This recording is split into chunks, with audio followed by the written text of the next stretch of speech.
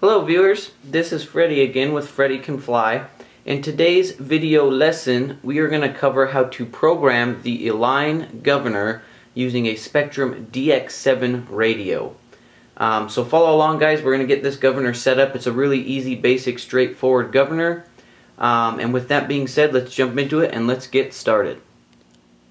Okay, so the first thing we want to go over is how to properly plug in your governor. Now I'm using a separate receiver. Um, some applications allow you to plug into the governor, if or not the governor, the flybarless unit, sorry, if they have a governor attachment like the Align 3GX. But I'm choosing to plug it into my receiver, even though I'm still using a flybarless unit.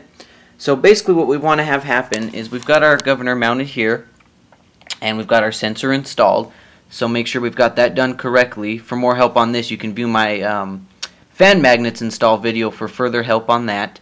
Okay, now the throttle servo should plug into our governor, which you can see I have random plugged in here. Now the governor is going to come through, and it's got two leads coming off of it. One of your leads need to, needs to plug into the actual throttle channel, and that's going to be the wire that has the red, black, and white. Okay. Now, there's also another one for the gain value of the governor, and I'm going to plug that into the gear channel. And I will explain to you why we're doing this here shortly. So, one lead into throttle, and then the single yellow wire, or whatever color your governor is, can go into the gear channel so it can be assigned to a toggle switch to turn it on and off. So once you have all of this plugged in, or if you do not have it done at this point, go ahead and get it plugged in and we're going to continue on with the governor setup. Okay, so the next thing we want to look at is our radio setup. Um, and as you recall, I had you plug in the single wire into a uh, the gear channel on the receiver. And the reason why we do this is if I go into my channel assignments on my radio, okay, I'm going to set my auxiliary 2 for my rudder gyro, and I'm going to make gear equal gear. That means that our gear switch will equal the gear channel on the receiver. Okay, um, and on most helis this should work. It should allow it. I do take in mind I'm using a 7-channel transmitter with an 8-channel receiver. So there are um, certain requirements you're going to want to look at. Obviously with a 6-channel you'll probably end up plugging um, the governor in somewhere else or, or in a different manner. Okay, but with this setup, this is what we're going to do. AUX2 needs to equal gyro, and gear needs to equal the gear channel. That's about it for the radio setup.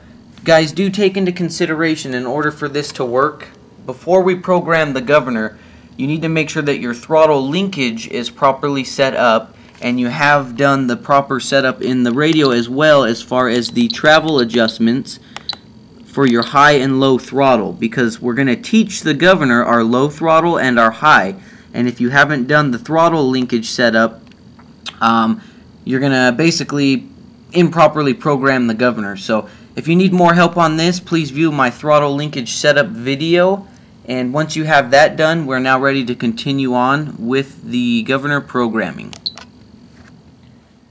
Okay guys, so what we've done here is we've went ahead and powered up the heli and our transmitter, okay? And at this point in time, we should have a green status light on the governor. Now, the first thing we want to do is we want to check to make the, sure that our switch toggle is working. So once again, I made gear equal gear by plugging it into um, the gear channel on the receiver and also in my radio doing channel assignments. So if I come over here to my gear switch, You'll notice when I toggle the switch, the light goes red when it's off, and it goes green when it's on. So this gear switch is going to allow you to actually toggle on and off between your governor.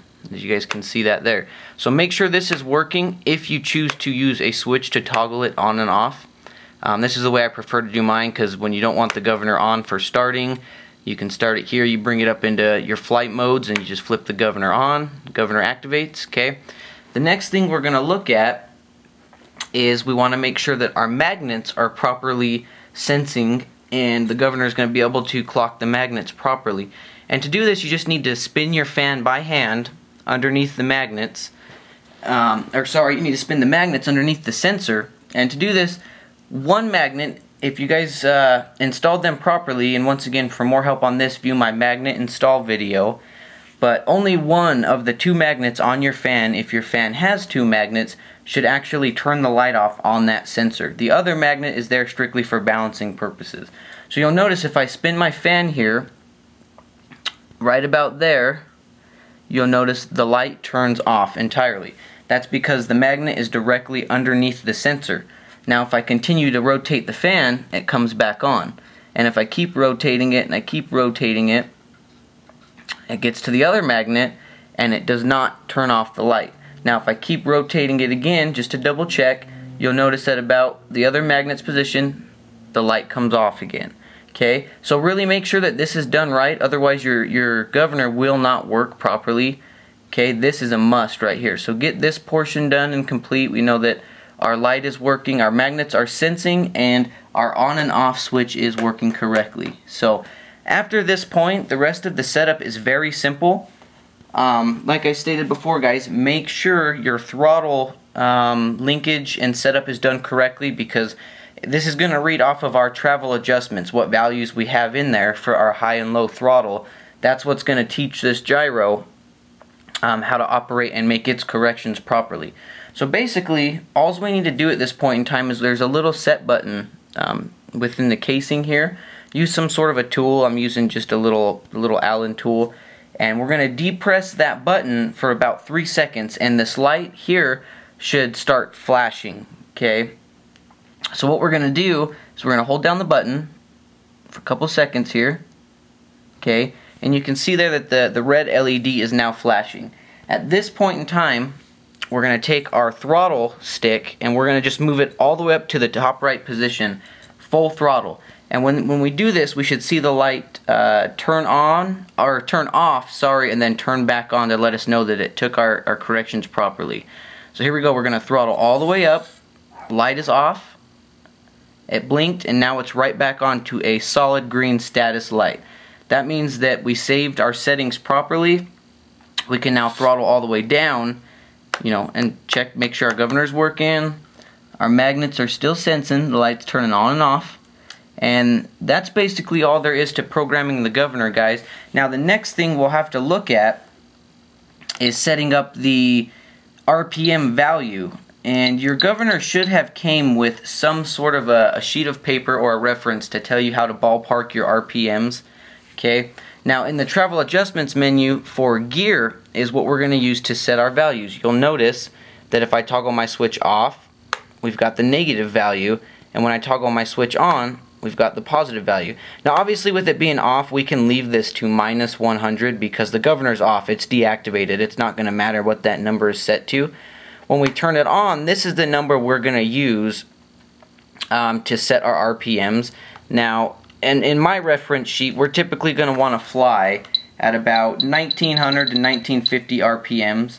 And that's going to set me right around 80, 90%. But we never truly know until we get a tach on the head. So um, use your reference sheet to, to make sure you get that number set up right.